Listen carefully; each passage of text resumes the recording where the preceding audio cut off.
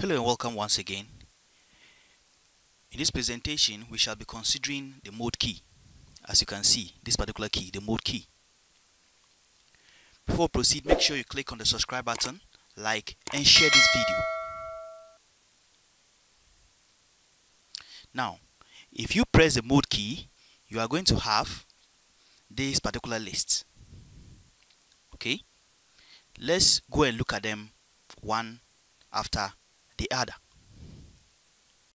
So now let's proceed by looking at each particular mode in the calculator. So let's start with the first one, the computation mode, in short COMP. Okay. This particular mode enables you actually do basic calculations. 1 plus 1 2 plus 2 square root of this. Simple simple simple expressions that you can write okay? You can also compose your own equation all right especially the linear ones in the composition mode. We shall be looking at some of these things very soon. Now let's look at the complex number mode. The complex number mode enables your calculator to compute values and give those answers in imaginary numbers as and when they appear. At a senior high school level, this particular mode is not relevant. It is mostly relevant in um, tertiary institutions. Next, the statistics and regression mode, in short STAT. This particular feature enables you do so many calculations and data analysis under statistics. Okay? It can enable you draw frequency tables. We'll be looking at how to use this particular key or this particular mode to draw frequency distribution tables. You can also it can also help you do so many other calculations all right that are related to statistics one variable two variables and so on and so forth. We shall look at those things very very very soon.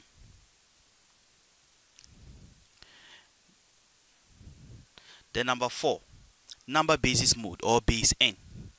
You know this part enables you to convert from one base to another. That is basically the function of this particular mode. It enables you to convert from one base to another base. Okay? Normally it some bases are not included. At least it is limited. There are a few of them that are uh, included in this particular mode. All right? So don't bring your hopes so high. There are some few ones we'll consider.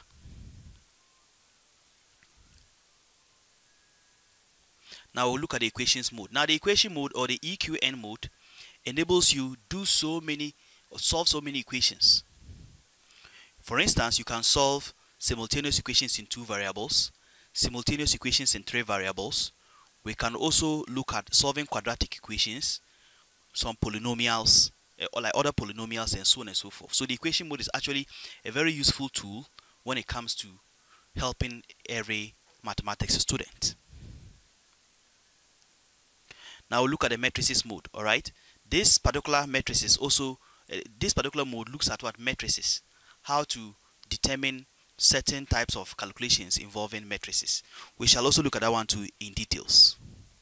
Then we'll have the function values or table okay this particular function enables you to create a set of ordered pairs let me repeat a set of ordered pairs using a particular function or relation so under relations and functions you can actually use this particular function to generate your set of ordered pairs.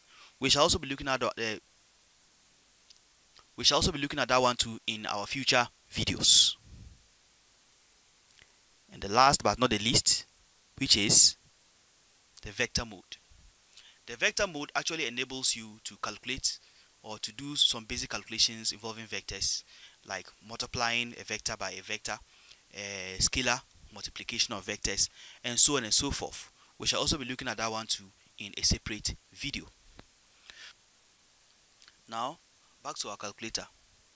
When you press 1 when it's in the mode display it selects the computation mode.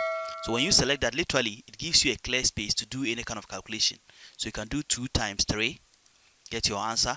If you want you can take the square root of 5 get an answer. So this is just for other display of course aside that you can also do uh, key in variables. For instance to access a variable x you press alpha x or sorry alpha alpha x.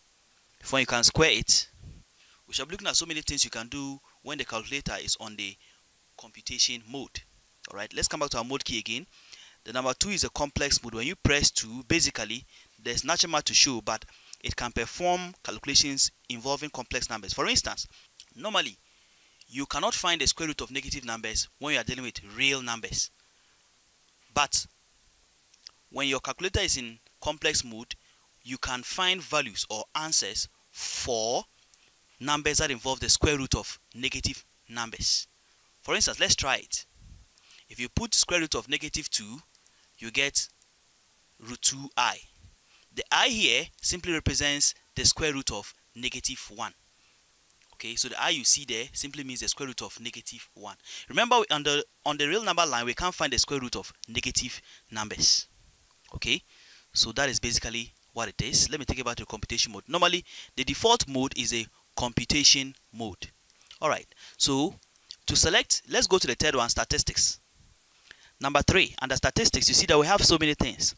One variable um, data models with this kind of equation linear models natural log of x and so on and so forth.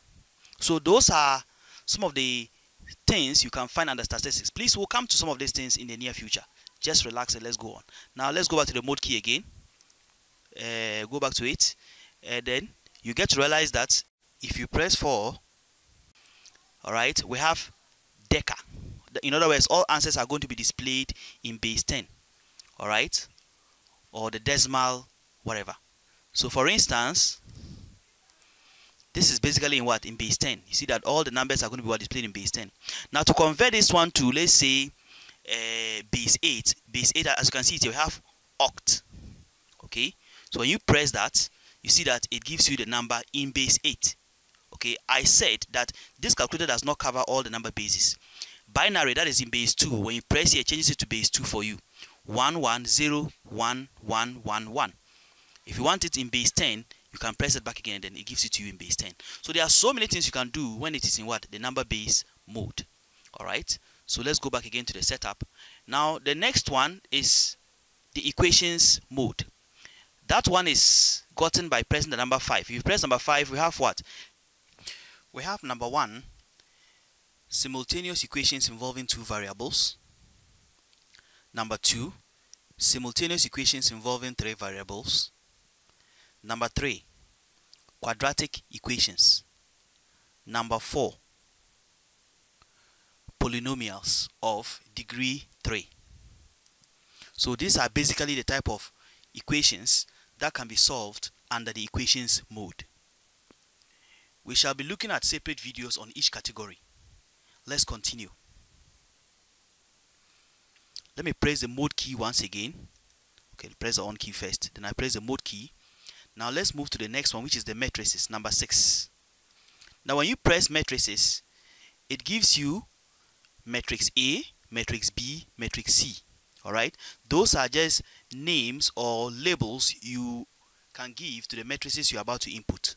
Okay, for instance, if I select one, that, that means matrix A. Then I'm given the chance to select the dimensions of the matrix, whether 3 by 3, 3 by 2, 3 by 1, 2 by 3, 2 by 2 and 2 by 1 and so on and so forth. For instance, if I select option 1, I end up having a 3 by 3 matrix. The number of columns are 3 and the number of rows are also 3. Okay, we're not going to go into the details of this. We shall also look at that one too under a separate tutorial. Okay, let's go back to setup. Then, if you select the mode key once again, if you press the mode key once again, now the next option is table number 7 okay so when you select 7 that is a mode key. Now this particular particular uh, mode gives you the ability to create a set of ordered pairs. Okay for instance if I want to if I want the set of ordered pairs for the relation f of x is equal to let's say x squared plus 1 I have to first of all define my domain okay if I define my domain then the table will be produced. Now when you press equal to right here so now the start value is 1 then the next value I can choose my start value to be negative 3 and my end value to be let's say 2 and my step value is just the amount each particular value increases. So I can leave the step value to be 1 and I, then I press my equal to see that my table forms. That means when you input negative 3 you get 10 if you input negative 2 you get 5 alright?